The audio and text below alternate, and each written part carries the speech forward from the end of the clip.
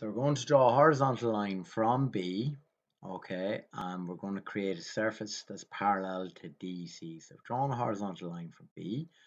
Okay, now from the end of that skewed line AB, I'm going to go have to go have to go parallel to DC, and I'm going to get a point called letter P. Now what I've done is create a triangular surface parallel to the skewed line DC because line AP is parallel to that. Now I'm dropping those points down to plan I'm going to get to plan view of that triangular surface, that lamina.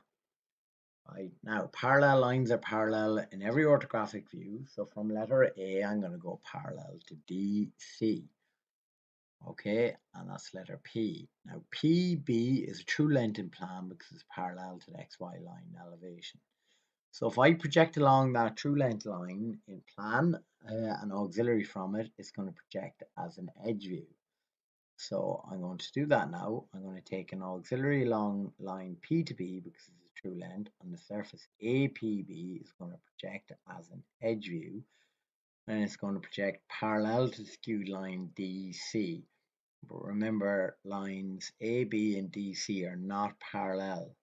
Okay, they will appear parallel in this auxiliary elevation because they projected um, because the surface APB projects as an edge. So I'm going to take my heights from elevation, I'm going to put them over.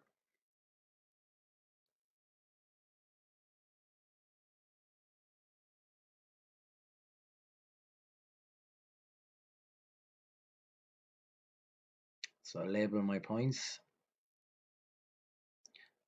Now the two skewed lines need to appear parallel. So I'm going to join A to C and A to B.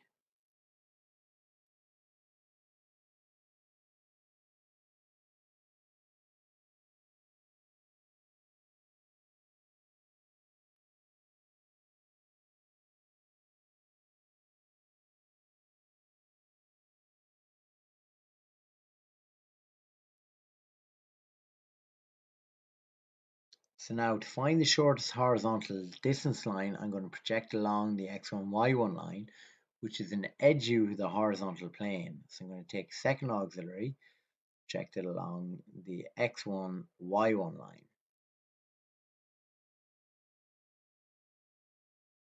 And I'm going to take the distances from my x1, y1 line back to uh, plan view, or, uh, for my second auxiliary. So draw, I'm drawing in my x2, y2 line.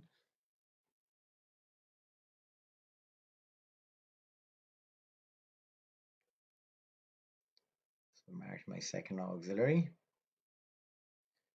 So I'm taking the distances from my x1, y1 line back to plan. Marking them in.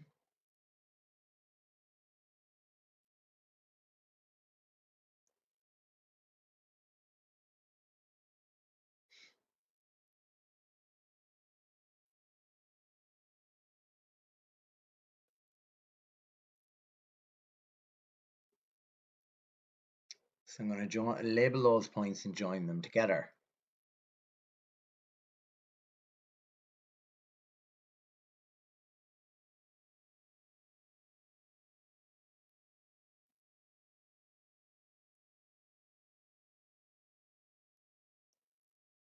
Now, where they appear to cross over in our second auxiliary is a point view, the shortest horizontal distance line.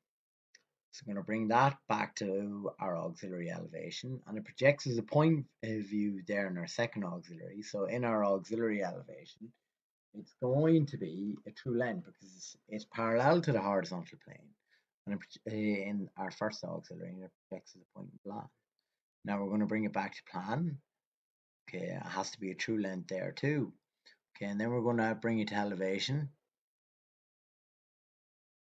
And it has to be horizontal in elevation.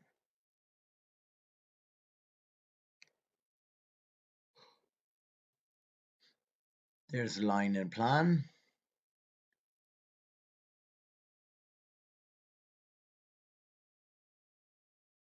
There's line in elevation. And now here's part B. So marking in the true length determined and indicated in millimeters, the true length of this line. So I'm putting it in, uh, writing it in our first auxiliary because it's a true length there. It's parallel to the x1, y1 line in plan view. And it's also true length in plan view. It's not a true length in elevation. So there's the distance there, 24 millimeters. Cheers, thank you, bye bye.